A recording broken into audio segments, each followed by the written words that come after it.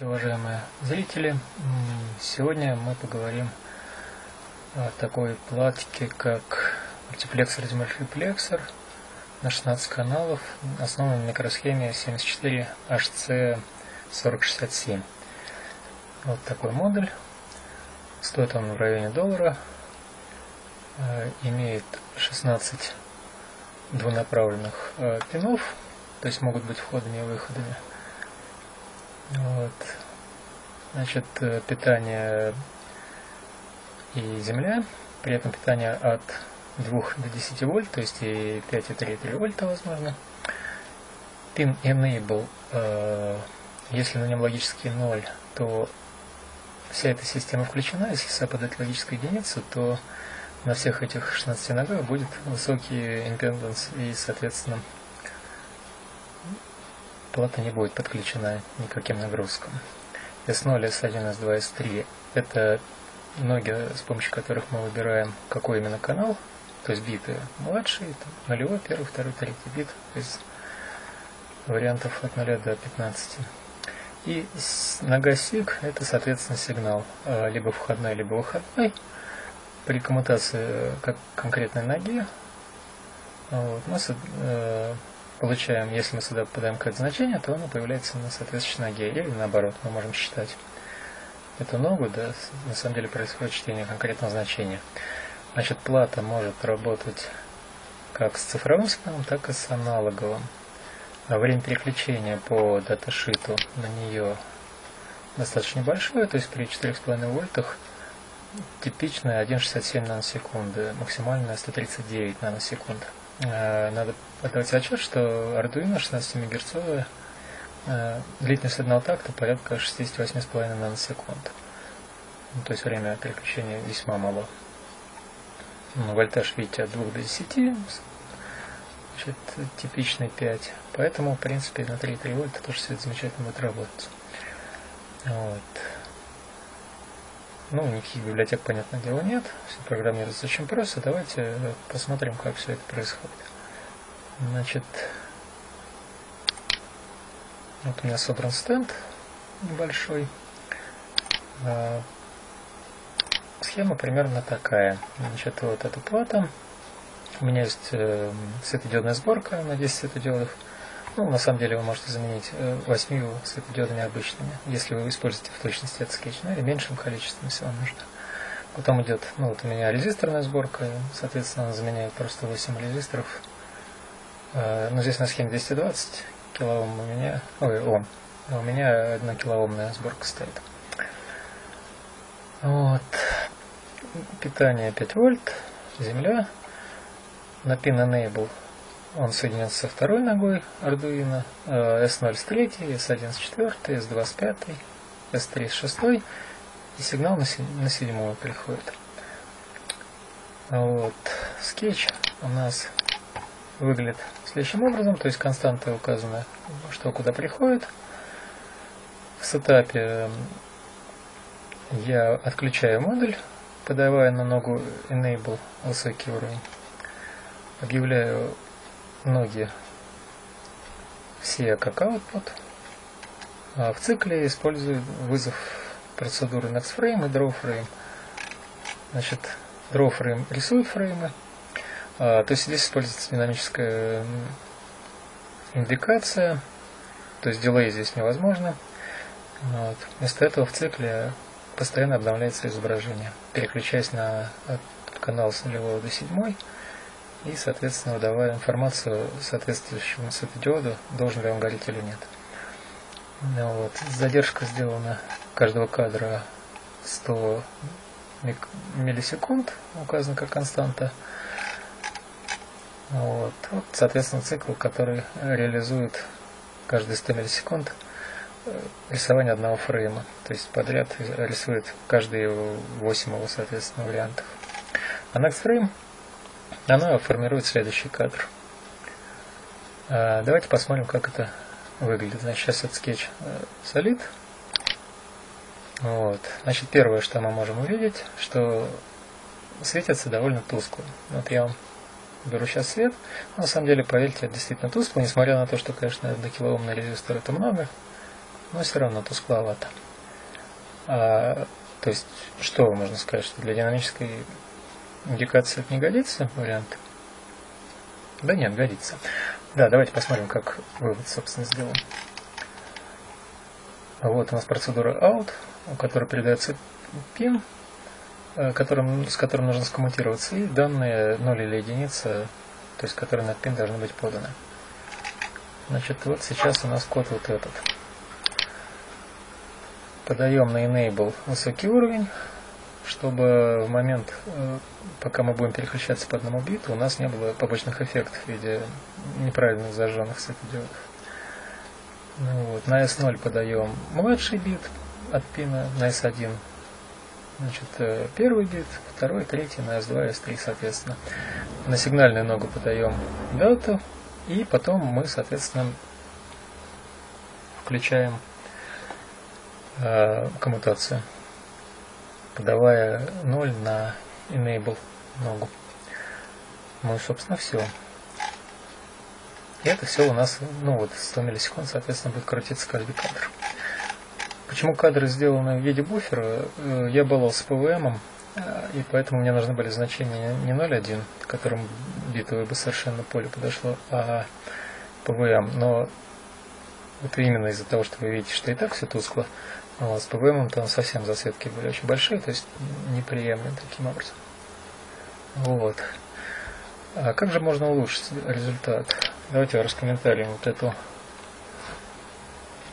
строчку и зальем скетч еще раз.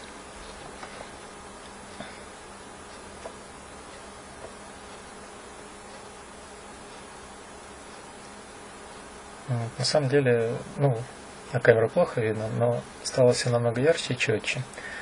Значит, что я сделал? Поскольку все ноги у меня относятся к одному порту, а, дело в том, что пины на Arduino относятся к трем портам. То есть с 0 до 7 это D, с 8 до 13 это B, по-моему, и А0, А7, это, соответственно, там, к C, что ли, я не помню. Но не суть. В общем, это порт D, а, если мы не переходим границу седьмого, старше седьмого пина. Вот. И мы можем использовать э, тот факт, что управляя напрямую портом, мы можем э, вывести сразу нужное нам количество пинов в нужное состояние, то есть одним махом. Таким образом, мы этот код заметно выполняется быстрее, чем Digital Write. Вот, соответственно, вот если мы на процедуру out посмотрим, то здесь есть кусок, который будет сейчас работать. Точнее, работает сейчас, который обрамлен макросами UDF FastPin. Точнее, директивами. Что мы делаем? Мы порт D э, читаем, значит, сбрасываем в нули э, все биты, ответственные за все пины, которые мы используем. Enable, S0, S1, S2, S3 и сигнал. Вот, записываем. А, нет, даже не записываем обратно. Дело в том, что там нам не нужно управлять enable пином в данном случае, потому как у нас э, не будет состояния, когда не полностью адрес выбран. Вот, то есть мы одним мгновением как бы получаем нужный нам адрес, поэтому мы не используем э, код типа вот digital write pin enable high и в конце digital write pin enable low. Вот. То есть мы сбрасываем все в нули, потом мы формируем единицы там, где нужно для выбора нужного адреса. И если дата у нас тоже как бы отличная от нуля, то единица мы в нее. И потом мы порт D просто указываем это новое значение. Вот. И сразу получаем там нужный результат. Вот. Как видите, это все работает ну, намного веселее. Вот. Все замечательно. Давайте усложним немножко задачу. Значит, перейдем к схеме 2. Добавим две кнопки 10 килоомными резисторами. Они уходят на землю одним концом, а на второй конец к ним приходит 5 вольт. И с того конца, куда идет резистор, к земле, да, мы снимаем с них сигнал. То есть в данном случае это будет C13 и C14. Вот, значит, сейчас эта схема уже собрана, я просто скетч я не использовал, поэтому давайте посмотрим, а, как использовать этот пин как и для выхода, и для входа одновременно. Значит, переходим к второму варианту скетча. Вот здесь он уже будет посложнее. Добавляем еще две константы, а, куда кнопки приходят. Первая кнопка 13, вторая 14. Вот. Убираем, комментируем строчку, которая объявляет сигнальную ногу как выход, потому что это будет переключаемая вещь. Вот. Логика работы такова, что мы считываем первую кнопку, если она нажата, то первые четыре э, светодиодных блока будут зажжены. Если нет, то они будут погашены, и вторая кнопка управляет вторыми четырьмя блоками, то есть от э, пятого до восьмого. Вот, и мы будем увидим, как все это работает. Первое, с чем пришлось столкнуться.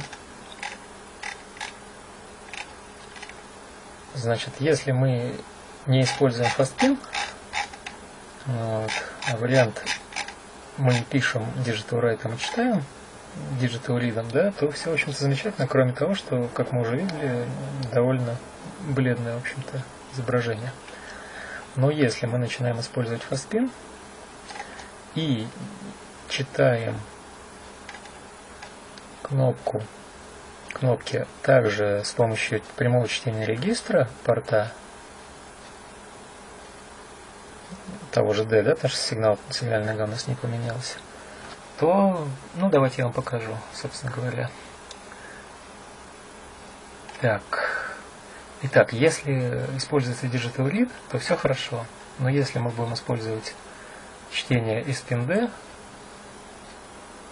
это регистр, отвечающий за порт D, за чтение именно информации, то у нас будет достаточно занятный косяк. Так, давайте. Что тут надо закомментарить? Сейчас, вот, у нас тут задержки есть, которые я подбирал эмпирическим путем. Я их сейчас закомментарировал.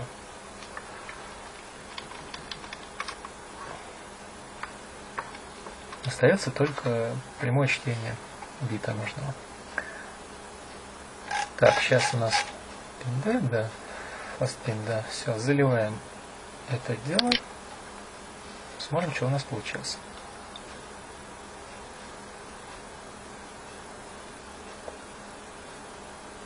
Так, есть. Сейчас все выключим, потому что никакая кнопка не нажата. Нажимаю левую кнопку и Вместо того, чтобы загорелся первый блок, горит второй. Нажимаю правую кнопку, вообще ничего не происходит.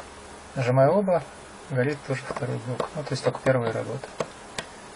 Вот. Как видите, работает не так, как должно. Ну, давайте посмотрим, что можно с этим сделать. Значит, предположим, мы читаем с помощью Digital Read но запись происходит все еще с помощью прямого обращения к портам.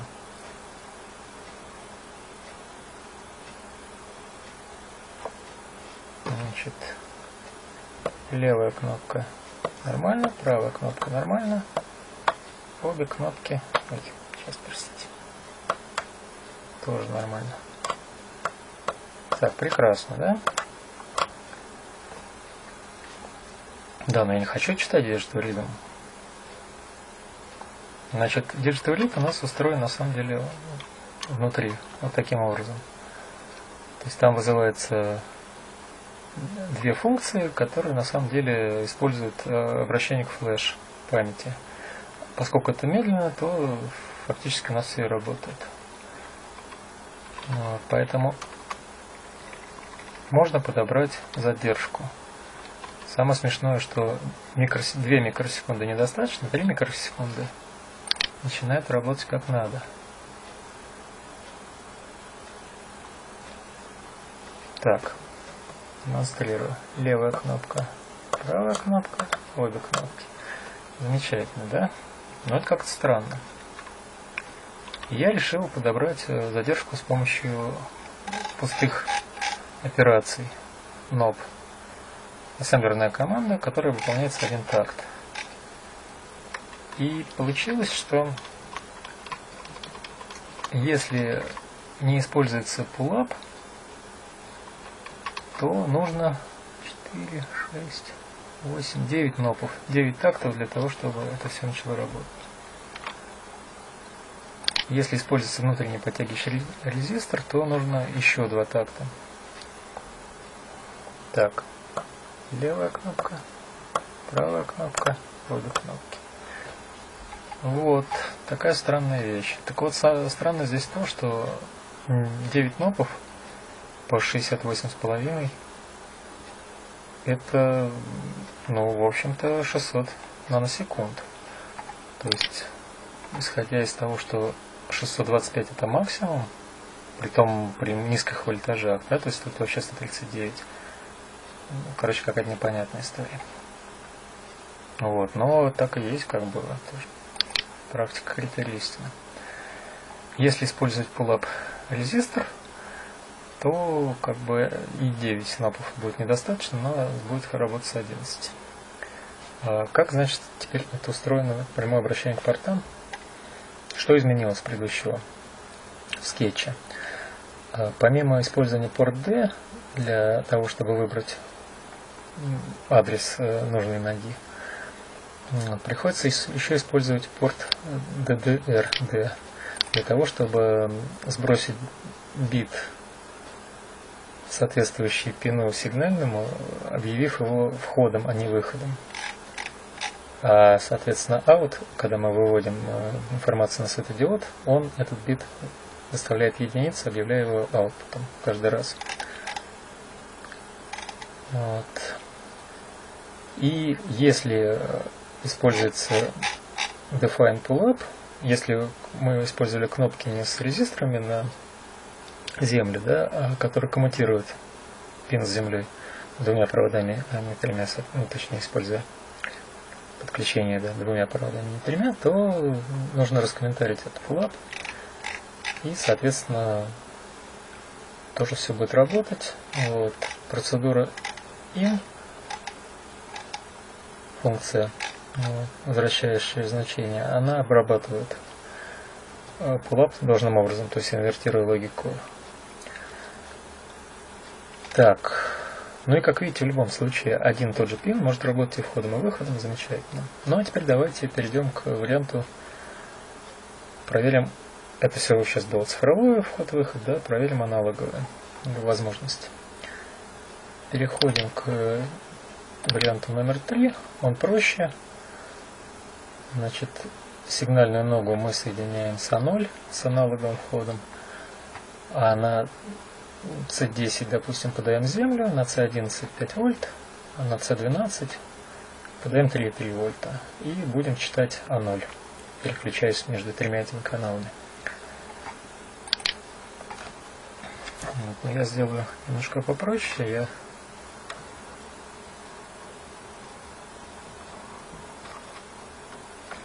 Так, единственное, что позвольте я отключу все это безобразие от греха. Вот так вот у нас будет. А, не, не, туда.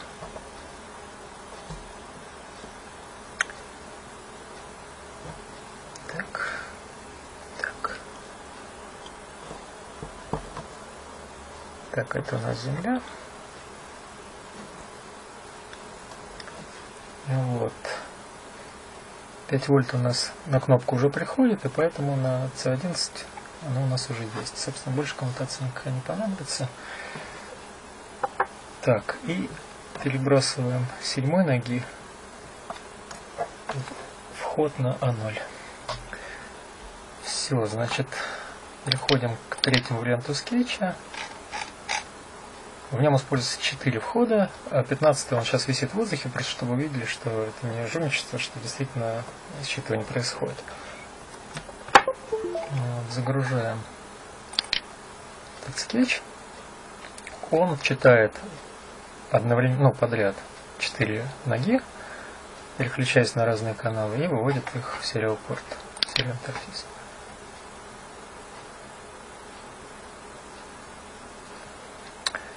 V0 у нас 0 всегда, V1 это 5 вольт, V2 это 3,3 вольта, и V3 это у нас некий мусор, который на самом деле должен плавать, но вот я могу дотронуться и плавать начнет сильнее. Вот видите? А, главное, что нам нужно увидеть, что 0, 5 и около 3 и 3 достаточно стабильны. То есть действительно это аналоговое считывание, как бы, и которое, в общем-то, нормально работает. Ну и мусор в том числе тоже собирается. Вот. В принципе, код тоже очень простой. Здесь фастпин используется, конечно же, для э, выбора нужного канала, но аналог крит я собственно, напрямую делать не буду, там ну, не, совершенно нетривиальная вещь, а вот большого выигрыша я все равно не получил. Я считываю аналог Read Pin после того, как я переключился на нужный канал. Умножаю на 5, делю на 1024, 10-битное значение. И, соответственно, в сериал мы просто печатаем все четыре значения, жду полсекунды. Если я уберу дилей, Э, то данные все равно будут сыпаться как бы сразу, и они все равно будут корректными. Так что, в принципе, действительно скорость переключения при использовании аналог рида, там, digital рида и так далее, то есть не нужно никаких дилеев, ожиданий. Э, сам вызов этой процедуры, он достаточно для того, чтобы все стабилизировалось. Вот, как видите, эта штука может позволить меньшим количеством пинов использовать довольно большое количество, ну, либо входов, либо выходов, и опрашивать их по одному. Включая вариант, что можно использовать код, в котором значит, нога будет и входом, и выходом. Как вот я показывал вам с кнопками с индикацией. А, для динамической индикации, в принципе, особенно с прямым доступом портов, ну, вполне пригодно, но совсем хорошо прям для опроса каких-нибудь там а, цифровых источников сигнала, типа там кнопочных полей и прочего. Вот, либо для вывода светодиодов.